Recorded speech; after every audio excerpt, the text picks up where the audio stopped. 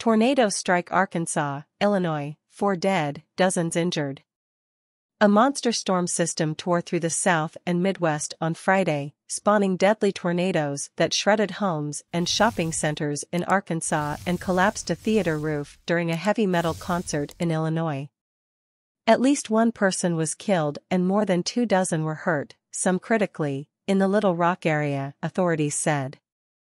The town of Wynne in northeastern Arkansas was also devastated, and officials reported two dead there, along with destroyed homes and people trapped in the debris. Authorities said a theater roof collapsed during a tornado in Belvidere, Illinois, killing one person and injuring 28, five of them severely. The Belvidere Police Department said the collapse occurred as a heavy storm rolled through the area and that calls began coming from the theater at 7.48 p.m.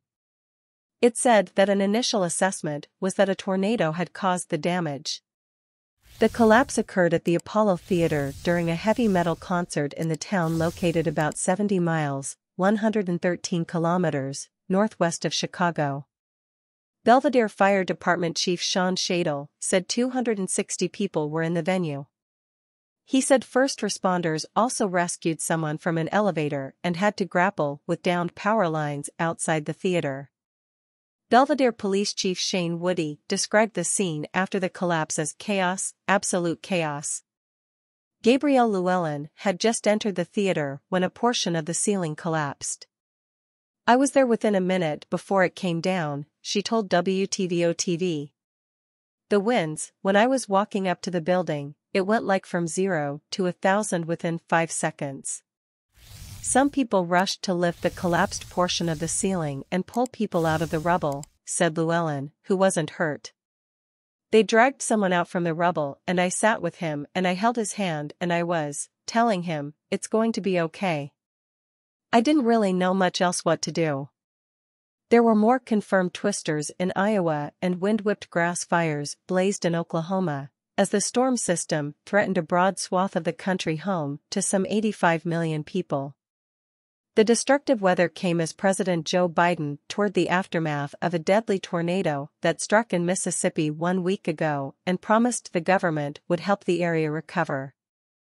The Little Rock tornado tore first through neighborhoods in the western part of the city and shredded a small shopping center that included a Kroger grocery store. It then crossed the Arkansas River into North Little Rock and surrounding cities, where widespread damage was reported to homes, businesses, and vehicles. In the evening, officials in Pulaski County announced a confirmed fatality in North Little Rock, but did not immediately give details. Baptist Health Medical Center Little Rock officials told KATV in the afternoon that 21 people had checked in there with tornado-caused injuries, including five in critical condition. Mayor Frank Scott Jr., who announced that he was requesting assistance from the National Guard, tweeted in the evening that property damage was extensive and we are still responding. Governor Sarah Huckabee Sanders activated 100 members of the Arkansas National Guard to help local authorities respond to the damage throughout the state. In Little Rock, resident Nikki Scott took cover in the bathroom after her husband called to say a tornado was headed her way. She could hear glass shattering as the tornado roared past, and emerged afterward to find that her house was one of the few on her street that didn't have a tree fall on it. It's just like everyone says. It got really quiet, then it got really loud, Scott said afterward, as chainsaws roared and sirens blared in the area. At Clinton National Airport, passengers and workers sheltered temporarily in bathrooms. Praying for all those who were and remain in the path of this storm, Sanders, who declared a state of emergency, said on Twitter. About 50 miles 80 kilometers west of Memphis, Tennessee, the small city of Wynne, Arkansas, saw widespread tornado damage, Sanders confirmed. St. Francis County Coroner Miles J. Kimball told the AP by phone Friday night that he was assisting the Cross County coroner in Wynne and that two people died there in the tornado. The governor at a briefing with Little Rock officials Friday night said it was possible the number of deaths could rise. City Council member Lisa Powell Carter told AP that the town Wynne was without power and roads were full of debris. I'm in a panic trying to get home, but we can't get home, she said. Wynne is so demolished. There's houses destroyed, trees down on streets. The unrelenting tornadoes continued spawning and touching down in the area into the night. The police department in Covington, Tennessee, said on Facebook that the West Tennessee city was impassable after power lines and trees fell on roads when the storm passed through Friday evening. Authorities in Tipton County, north of Memphis, said a tornado appeared to have touched down near the middle school in Covington and in other locations in the rural county. Tipton County Sheriff Shannon Beasley said on Facebook that homes and structures were severely damaged. Tornadoes moved through parts of eastern Iowa, with sporadic damage. One tornado veered just west of Iowa City, home to the University of Iowa.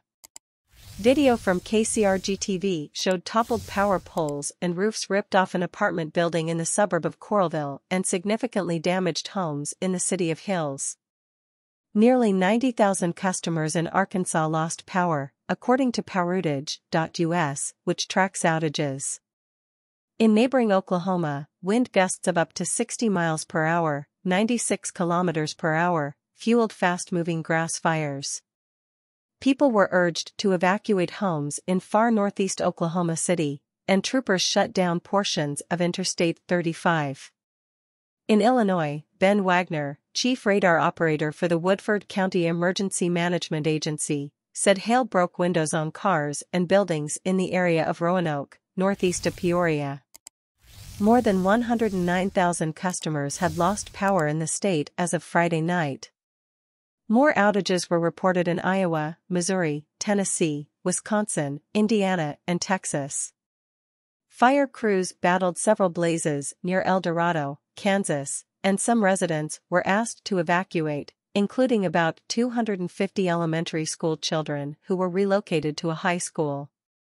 At Chicago's O'Hare International Airport, a traffic management program was put into effect that caused arriving planes to be delayed by nearly two hours on average, WFLD-TV reported. The National Weather Service's Storm Prediction Center had forecast an unusually large outbreak of thunderstorms with the potential to cause hail, damaging wind gusts and strong tornadoes that could move for long distances over the ground.